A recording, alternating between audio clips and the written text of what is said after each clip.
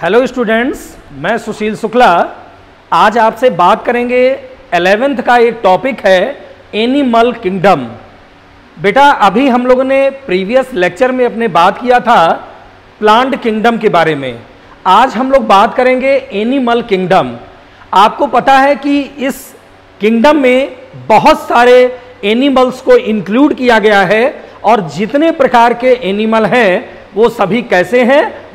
Multicellular eukaryotic animals multicellular eukaryotic animals का मतलब है कि इनकी जो सेल है, वो कई सेल्स के स्तरों के द्वारा बनी हुई है और यू कैरियोटिक है। इसको अपने हम इस नेड आई से देख पा रहे हैं।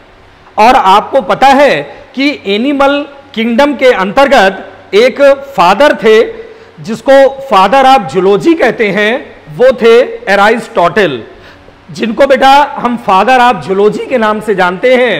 और इन्होंने ये बताया था कि इस संसार में जितने प्रकार के एनिमल हैं, वो मोस्टली कैसे हैं? यू कैरियोटिक हैं और मल्टी सेलुलर हैं। तो अगर इसका हम करेक्टरिस्टिक फीचर्स की बात करें तो सबसे पहला जो करेक्टरिस्टिक फीचर्स है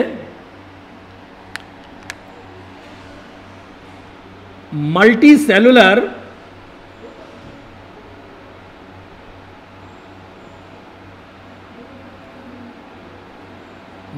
multicellular eukaryotes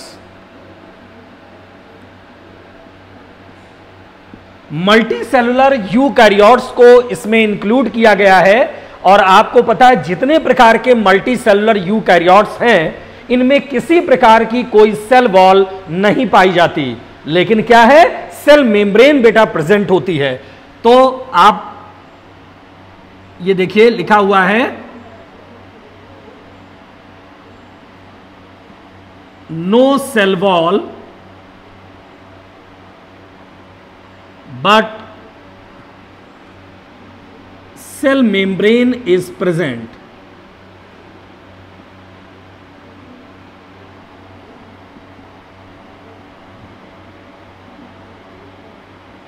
आप देख रहे हैं कि इसमें किसी प्रकार का कोई सेल वॉल का स्तर नहीं है, लेकिन सेल मेम्ब्रेन बेटा प्रेजेंट है। वही सेल मेम्ब्रेन जो हमारी प्रोटीन और लिपिड से मिलकर बनी होती है। तो no cell wall but cell membrane is present इसके अलावा आप अगर एनिमल के करेक्टरिस्टिक फीचर्स को देखें तो इसमें जो सेंट्रल वैक्यूल है, वो भी अपसेंट होता है। Central vacuole are absent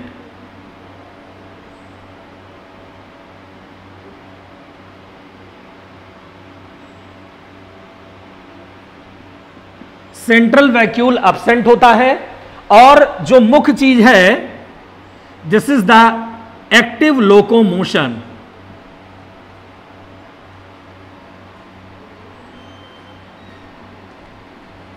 जितने एनिमल आप देख रहे हो, ये मल्टी सेलुलर यू कैरियोट्स हैं और इसमें क्या है? एक्टिव लोकोमोशन है। इसका मतलब है कि वो एक जगह से दूसरे जगह पे जा रहा है। उसमें लोकोमोशन की क्रिया चल रही है। तो इसको हम बोलते हैं एक्टिव लोकोमोशन और आपको अगर हम बताएँ तो इसमें जो न्यूट्रिशन है this is the heterotrophic mode of nutrition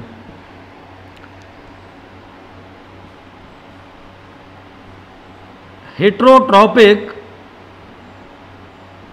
mode of nutrition heterotrophic mode of nutrition, इसका मतलब है जो पोषण की विधि है, वो क्या है? डिपेंड है। वो अदर एनिमल्स के ऊपर डिपेंड है, उसको बोलते हैं विषम पोषी। तो हिट्रोट्रॉपिक मोड ऑफ़, इसमें न्यूट्रिशन है, जितने भी एनिमल हैं। इसके बाद अगर आप देखें, nervous system,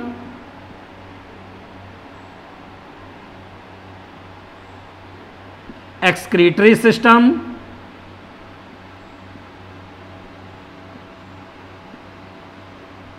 and sense organ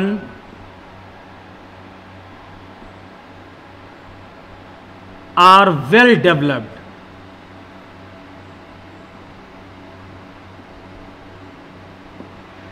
हम अगर बेटा देखें तो जितने भी एनिमल है, इसमें नर्वस सिस्टम, एक्सक्रीटरी सिस्टम, और जो सेंस ऑर्गन है, या सेंसरी सिस्टम है, वो कैसा है?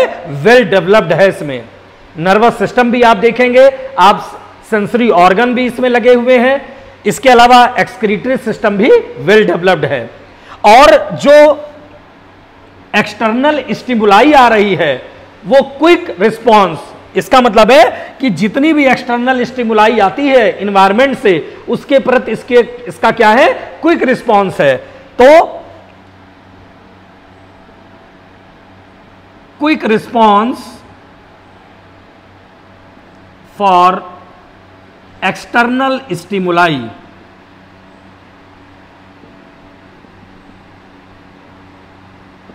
वातावरण से जो भी उद्दीपन आ रहा है, जो भी स्टिमुलाई आ रही है, उसके प्रति इसका क्या है? क्विक रिस्पॉन्स है। इसीलिए बोलते हैं quick response for external stimuli और बेटा हम आपको बता दें कि इसमें जो रिप्रोडक्शन की प्रोसेस है both asexual and sexual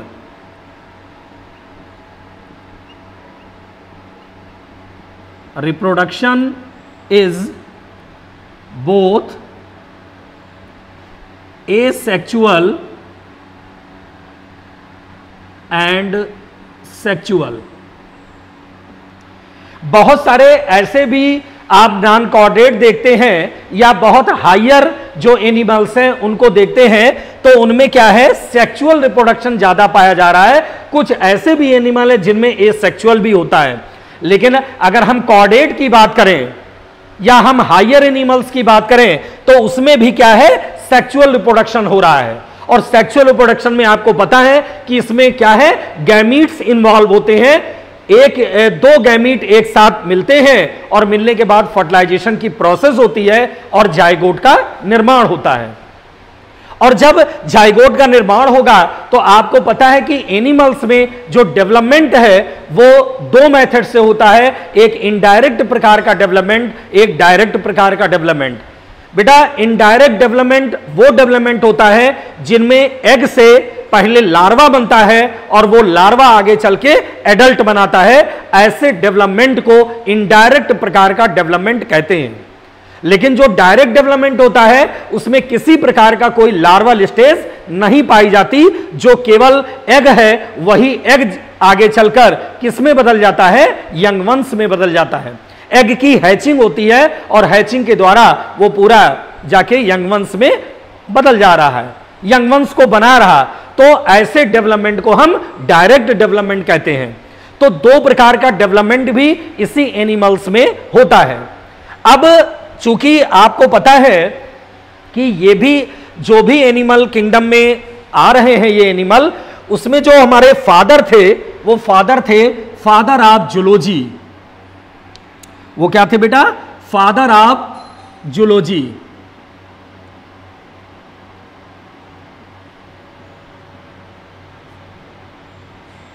father of zoology या फादर ऑफ़ बायोलॉजी भी कहते हैं, और वो क्या है? एराइस्टोटल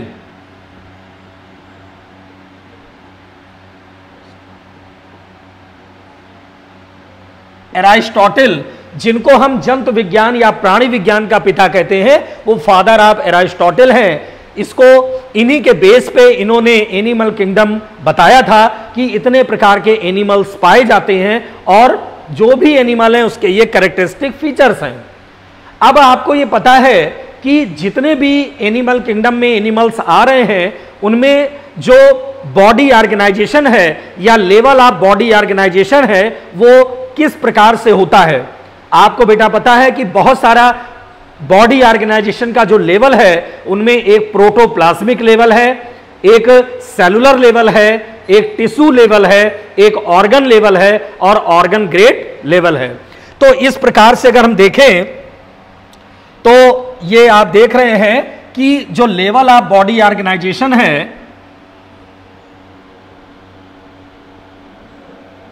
of body body organisation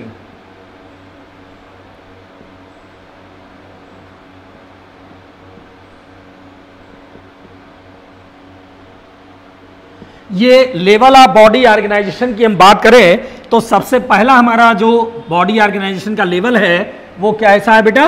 protoplasmic level वो लेवल है हमारा प्रोटोप्लाज्मिक लेवल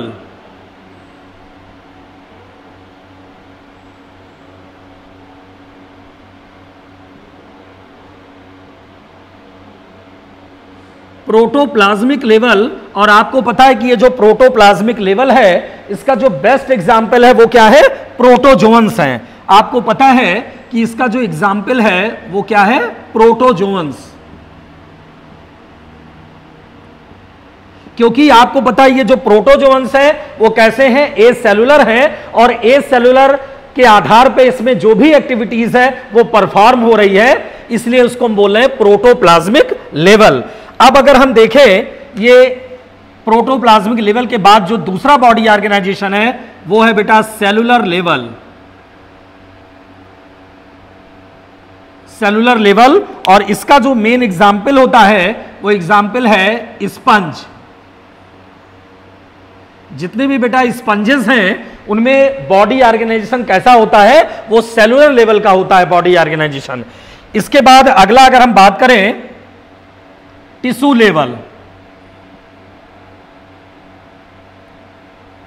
टिश्यू लेवल और tissue level of body organisation, इसका मतलब है कि बहुत सारे ऐसे एनिमल हैं जो जिनकी बॉडी स्थित है, वो टिश्यू के फॉर्म में स्थित है और इसमें जो मुख्य एग्ज़ाम्पल आपने रखा है, सिलंट्रेटा या निडेरिया भी बोलते हैं। और इस टिश्यू लेवल के बाद अगला आता है ऑर्गन लेवल। और ऑर्गन लेवल आप बॉडी ऑर्गेनाइजेशन की बात करें तो प्लेटी हेलमेंथीज और या अदर जितने भी फाइला हैं, इसके एग्ज़ाम्पल क्या है? प्लेटी हेलमेंथीज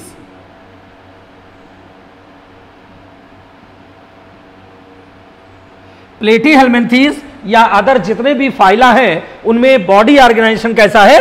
ऑर्गन लेवल है। और ऑर्गन लेवल के बाद आता है organ system level organ system level अब आपको पता है कि ये ऑर्गन सिस्टम लेवल का मतलब है कि जितने हाइयर एनिमल्स हैं, और हाइयर एनिमल्स में जैसे एनिलिडा है मोलस्का है कॉडेटा है, ये जितने भी एनिमल हैं, ये सब कैसे हैं? Organ system level of body organisation है। इसका मतलब बॉडी के अंदर जो ऑर्गन है, वो ऑर्गन लगे हुए हैं। वेल डेवलप्ड ऑर्गन लगे हुए हैं। तो इस प्रकार से आप देख रहे हो कि इनका जो बॉडी ऑर्गेनाइजेशन है वो प्रोटोप्लाज्मिक लेवल का है सेलुलर लेवल का है टिश्यू लेवल का है ऑर्गन लेवल का है और ऑर्गन ग्रेड लेवल का बॉडी ऑर्गेनाइजेशन है। अब बेटा, एक चीज़ तो हम लोग को पता चल गई कि एनिमल किंगडम में करेक्टरिस्टिक फीचर्स और लेवल ऑफ़ बॉडी ऑर्गेनाइजेशन की। इसके बाद अगर हम बात करें कि आखिर इनकी सिमिट्री कैसी होती है, आपको पता है कि सिमिट्री का मतलब होता है सममित। और सिमिट्री तीन प्रकार की होती है। एक होती है ए सिमिट्री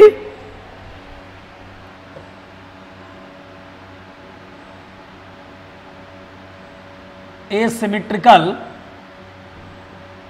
एनिमल दूसरा होता है सिमिट्रिकल एनिमल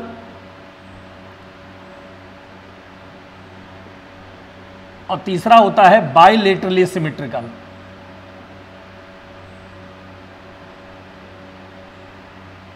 बाइलेटरली सिमेट्रिकल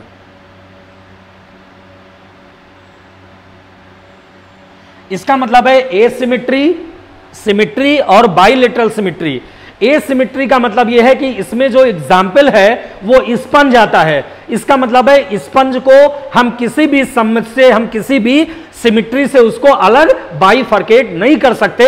इसलिए उसको हम कहते हैं ए सिमिट्रिकल असममित है वो. उसको किसी प्रकार से हम अलग अलग डिवाइड नहीं कर पाएँगे तो उसको बोलते हैं एसिमेट्रिकल और इसका बेटा एग्ज़ाम्पल है स्पंजेस इसके बाद अगर हम सिमिट्री में देखें तो सिमिट्री का मतलब है कि जैसे मान लो ये एक एनिमल है इस प्रकार से, ये एक एनिमल है इस प्रकार से, इसको किसी भी भाग से हम काटें तो वो दो पार्ट्स में ही बटेगा. चाहे इधर से काटें तो भी दो पार्ट्स इधर से काटेंगे तो भी दो पार्ट्स इधर से काटें तो भी दो पार्ट्स और इधर से काटें तो भी दो पार्ट्स। इसको क्या बोलते हैं? हमारा सिमिट्रिकल है ना? तो अब ये तो सिमिट्रिकल हो गया। दूसरा होता है, ये मुख्य रूप से क्या है? सिमिट्रिकल और कैसा सिमिट्रिकल है? ये है आपका रेडली सिमिट्रिकल ये कैसा है? रेडली सिमिट्रिकल इसको बोलते हैं रेडली सिमेट्रिकल तो यहाँ पर एसिमेट्रिकल और यहाँ आप लिख सकते हैं रेडियल सिमेट्रिकल ये क्या है? रेडियल सिमेट्रिकल है।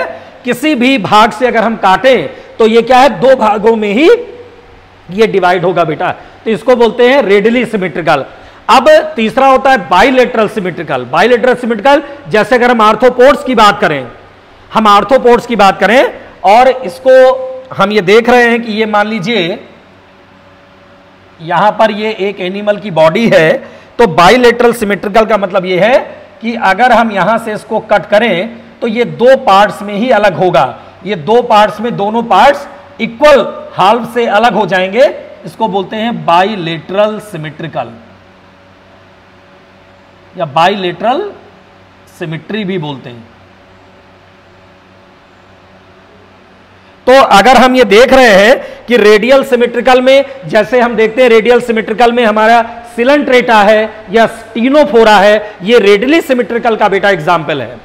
तो सिलेंट्रेटा या टीनोफोरा को अगर किसी भी पार्ट से, चाहे हम इधर से काटें, चाहे हम इधर से काट दें, इधर से काटें या इधर से काटें, दो ही पार्ट्स में डिवाइड होगा तो उसको बोलते हैं रेडिली सिमेट्रिकल जैसे सिलेंट्रेटा और टीनोफोरा। लेकिन हम अगर बाइलेटरल सिमेट्रिकल की बात करते हैं तो बाइलेटरल सिमेट्रिकल में ये इक्वल हॉल में अलग हो जा रहे हैं। जैसे आप देख रहे हैं प्लेटी हेलमेंथीज है या और भी एनिमल आगे आपको पता है कॉडेटा वगैरह में भी इसी में आते हैं कि बायोलेटरल सिमिट्री है। एक हॉल से अगर किया तो दोनों पार्ट एक दूसरे से समान रूप से अलग हो जाएँगे। तो इसको बोलते हैं बायोलेटरल सिमिटिकल अब चूँकि एनिमल किंगडम की हम बात कर रहे हैं, ये तो हमने बात की कि तीन प्रकार की सिमिट्री है। एक ए सिमिट्री एक रेडली सिमिट्री सिमिट्री और एक बायोलेटरल सिमिट्री तो ए सिमिट्री में स्पंजेस वगैरह आते हैं रेडियल सिमिट्री में सिलेंट्रेटा टीनोफोरा को रखा गया है और बायोलेटरल सिमिट्री में हमारा प्लेटियल मेंथिस से कॉर्डेटा प्रकार के जो एनिमल है कॉर्डेट्स वगैरह, वो इसमें आते हैं। अब चूँकि हम ये बात करते हैं कि जो एनिमल है हमारा, उस एनिमल में जर्मिनल स्तर है। और वो जर्मिनल स्तर क्या है? दो प्रकार का है। इसका मतलब है बहुत सारे ऐसे एनिमल है जो डिप्लोब्लास्टिक होते हैं। बहुत सारे ऐसे एनिमल हैं जो ट्रिप्लोब्लास्टिक होते हैं बेटा। डिप्लोब्लास्टिक का मतलब यह है कि एम्ब्रियो के एम्ब्रियोनिक डेवलपमेंट के समय, भ्रूण के एम्ब्रियोनिक डेवलपमेंट जब एम्ब्रियो का हुआ है तो उस एम्ब्रियो के एम्ब्रियोनिक डेवलपमेंट के समय जब केवल दो स्तर बनती है, और वो दो स्तर क्या है? आउटर है हमारा एक्टोडर्म और इनर है एंडोडर्म। तो आउटर और इनर, एक्टोडर्म और एंडोडर्म तो उसको हम बोलते हैं डिप्लोब्लास्टिक। लेकिन ट्रिप्लोब्लास्टिक का मतलब क्या है कि एम्ब्रियोनिक डेवलपमेंट के समय बाहरी स्तर हमारा एक्टोडर्म हो, आंतरिक हमारा एंडोडर्म हो और बीज का स्तर मीजोडर्म का हो तो उसको बेटा बोलते हैं ट्रिप्लोब्लास्टिक। तो हमारा जो जर्मिनल लेयर है, उसके आधार पर दो प्रकार के एनिमल्स को आपने इस स्तर के आधार पर रखा है, एक डिप्लोब्लास्टिक और एक ट्रिप्लोब्लास्टिक। तो जैसे अगर हम देखें, डिप्लोब्लास्टिक की अगर बेटा बात करें तो आपने देखा है कि इस प्रकार से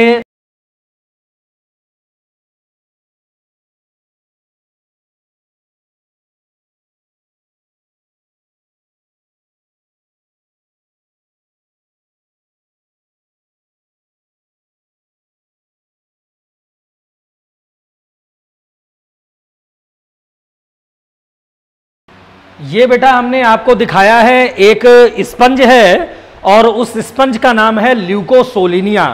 चूँकि ल्यूकोसोलोनिया एक सिंपल प्रकार का स्पंज है और इसमें जो जर्मिनल लेयर होता है, वो कैसा है? डिप्लोब्लास्टिक है। डिप्लोब्लास्टिक का मतलब होता है द्विस्तरीय इसका मतलब है जो बाहरी, हमारा जो लेयर आप देख रहे हो, ये पिनेकोडर्म या पिनेकोसाइट्स के रूप में है और आंतरिक लेयर जो है, वो कोनोडर्म और या कोनोसाइट्स के रूप में है। तो ये डिप्लोब्लास्टिक है और एक साधारण सा स्पंज मैंने दिखाया ल्यूकोसोलिनिया इसका मतलब है कि इसका जब एम्ब्रियोनिक डेवलपमेंट हुआ है तो उस एम्ब्रियोनिक डेवलपमेंट के पश्चात इसमें दो प्रकार के केवल स्तर बने हैं, एक्टोडर्म और एंडोडर्म। इसका मतलब स्पंज में वही एक्टोडर्म पिनेकोडर्म के रूप में है और एंडोडर्म कोनोडर्म के रूप में है। तो ऐसे एनिमल को हम क्या बोलते हैं? डिप्लोब्लास्टिक। और इसका मेन एग्ज़ाम्पल क्या आता है? स्पंज वगैरह। इसका मतलब है पोरीफेरा के जो जंतु हैं, वो मोस्टली क्या है? डिप्लोब्लास्टिक एनिमल कहलाते हैं। लेकिन एक स्तर और होता है ट्रिप्लोब्लास्टिक। ट्रिप्लोब्लास्टिक का मतलब है कि एम्ब्रियोनिक डेवलपमेंट के समय जब एक्टोडर्म एंडोडर्म और मीजोडर्म भी बने, जो मीजोडर्म है, वो बीज का स्तर है एक्टोडर्म एंडोडर्म और मीजोडर्म ये तीनों स्तर से अगर बॉडी का निर्माण हो रहा है तो इसको क्या बोलते हैं? ट्रिप्लोब्लास्टिक। और ट्रिप्लोब्लास्टिक में आपको पता है कि जो कार्डेट वगैरह जो होते हैं, हम सभी लोग क्या है? ट्रिप्लोब्लास्टिक हैं। तो उसमें क्या है? तीन स्तरों से हम लोग का शरीर डेवलप है, इसलिए उसको बोलते हैं ट्रिप्लोब्लास्टिक। तो जो हमारा जर्मिनल लेयर है, ये दो रूपों में हमने बताया कि एक डिप्लोब्लास्टिक और एक ट्रिप्लोब्लास्टिक। डिप्लोब्लास्टिक और ट्रिप्लोब्लास्टिक। तो डिप्लोब्लास्टिक और ट्रिप्लोब्लास्टिक का मतलब क्या है कि इसमें जो और भी एनिमल स्पंज हैं या और एनिमल हैं, वो सब डिप्लोब्लास्टिक हैं और जो प्लेटी हेलमेंथीस से अगर आप आगे चलेंगे, कॉर्डेटा वगैरह में तो आप देखेंगे वो क्या है, वो बेटा हमारे ट्रिप्लोब्लास्टिक कहलाते हैं। तो ये हमारा जर्मिनल स्तर होता है।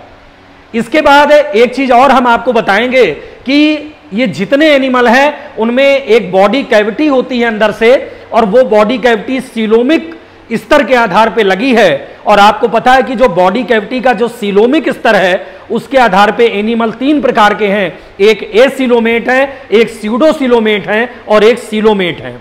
ए सिलोमेट का मतलब है जिसमें सिलोम गुहा है ही नहीं। सिलोम की कैविटी है नहीं है, उसको बोलते हैं ए सिलोमेट सीडोसिलोमेट का मतलब है कि जिसमें बॉडी कैविटी के अंदर जो मीजोडर्म की वॉल है, वो मीजोडर्म की वॉल लाइंड नहीं है, उसको वो स्कैटर्ड पाउचेस के रूप में मीजोडर्म की जो स्तर है, वो बनी हुई है, उसको बोलते हैं सीडोसिलोमेट तो सीडो का मतलब झूठा सीलो मतलब गुहा।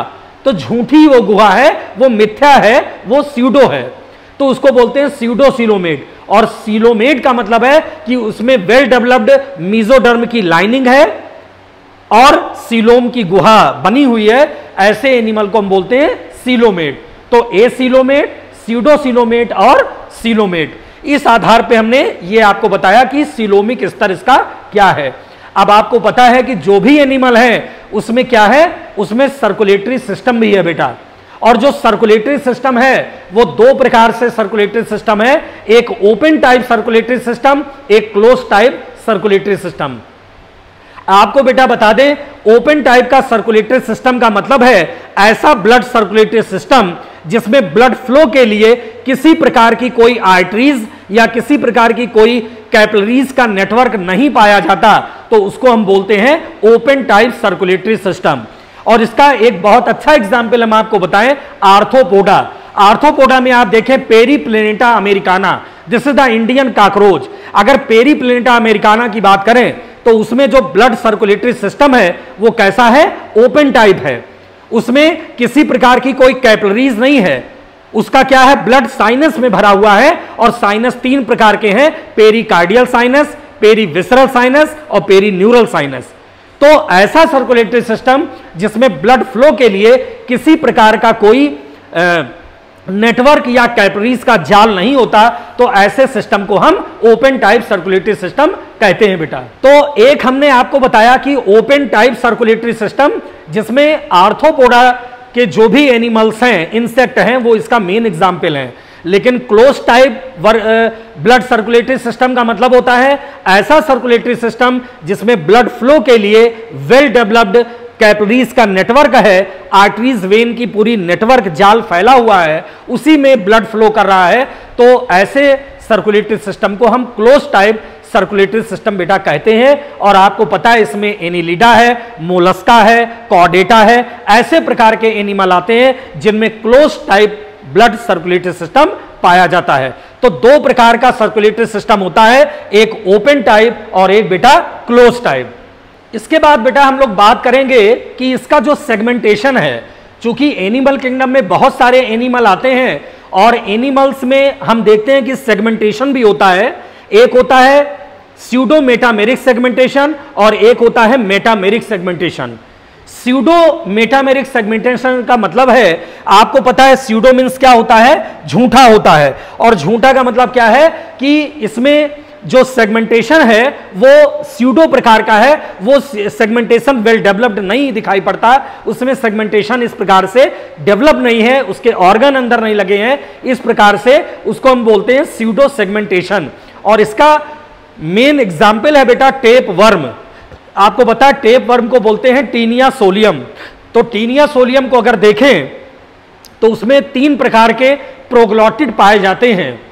और प्रोग्लॉटिड जो होता है, एक इमेच्योर प्रोग्लॉटिड होता है, एक मेच्योर प्रोग्लॉटिड होता है और एक ग्रेविड प्रोग्लॉटिड होता है। और बेटा, जो मेच्योर प्रोग्लॉटिड है, वही बाद में बचेगा। बाकी ये जो इमेच्योर प्रोग्लॉटिड, ये सब हमारे खत्म हो जाते हैं डिके हो जाते हैं क्योंकि इसमें सेगमेंटेशन स्पष्ट नहीं होता। तो ऐसे सेगमेंटेशन को हम स्यूडो मेटामेरिक कहते हैं और इसका मेन एग्ज़ाम्पल है टेप वर्म इसके बाद एक सेगमेंटेशन होता है मेटामेरिक सेगमेंटेशन मेटामेरिक सेगमेंटेशन को बेटा बोलते हैं खंडी भवन. इसका मतलब है इसमें वेल डेवलप्ड सेगमेंटेशन और हम आपको बताएँ, इसका मेन एग्ज़ाम्पल है एनीलीडा में अर्थमॉम अर्थमॉम को अगर हम देखें, जिसका जुलोजिकल नेम है फेरीटिमा पॉस्थुमा अगर हम अर्थवाम को देखें तो पूरा क्या है सेगमेंटेशन अंदर से बना हुआ है. और इसका जो अर्थवाम का 14, 15 और 16 सेगमेंट होता है इसको बेटा क्लाइटेलर रीजन कहते हैं। तो हर एक सेगमेंट में एक एक ऑर्गन लगे होते हैं इसलिए उसको बोलते हैं मेटामेरिक सेगमेंटेशन खंडी भवन है सभी खंड में ऑर्गन डेवलप हैं। तो इसका मेन एग्ज़ाम्पल है एनिलिडा जिसमें अर्थवाम को आपने रखा है। ये तो हमने सेगमेंटेशन की आपको बात बताई अब आपको पता है कि ये जो भी एनिमल किंगडम मैं बता रहा हूँ, ये अभी मैंने जनरल एनिमल किंगडम की बात की है। अब आज मैंने अपने इस बेटा लेक्चर वन में इतनी चीज़ें आपको बताई हैं कि इसके करेक्टरिस्टिक फीचर्स क्या है, इसका लेवल ऑफ़ बॉडी ऑर्गेनाइजेशन क्या है, इसका जर्मिनल लेयर क्या है, इसमें सिलोमिक स्तर कैसा होता है, और किस प्रकार का बॉडी ऑर्गेनाइजेशन है open type, close type blood circulatory system क्या होते हैं? और मुख्य रूप से इसमें जो सेगमेंटेशन है वो किस प्रकार का है? ये मैंने आज अपने इस एनिमल किंगडम में लेक्चर वन में बेटा बात की है। नेक्स्ट लेक्चर जो हमारा होगा, लेक्चर टू में हम बात करेंगे। अब अलग अलग हमारा फाइलम आएगा। फाइलम प्रोटोजोआ, जिसमें आपने प्रोटिस्टा को इंक्लूड किया गया है। और प्रोटोजोआ में कौन कौन से एनिमल हैं? उसके करेक्टरिस्टिक फीचर्स क्या हैं? वहाँ से हम शुरू करेंगे। तो प्रोटोजोआ से कॉडेटा तक जितने भी एनिमल हैं, उसकी हम आपसे डिटेल डिस्कस करेंगे विथ डायग्राम, विथ एग्ज़ाम्पल। तो आज बेटा मैंने लेक्चर वन में ये बात किया है आपसे। अगला मेरा लेक्चर टू में होगा फाइलम प्रोटोजोआ बेटा। तो स्टूडेंट्स, ये आप ध्यान से इसको हमारे वीडियो लेक्चर को देखिए और हमारे रिलायंट लर्निंग सोल्यूशन पे जाकर YouTube में लिंक को सब्सक्राइब करिए और लाइक करिए बेटा वीडियो को शेयर करिए, जिससे हम ज़्यादा से ज़्यादा आपको अच्छे से अच्छे वीडियो प्रोवाइड कर सकें। तो ओके बेटा थैंक्स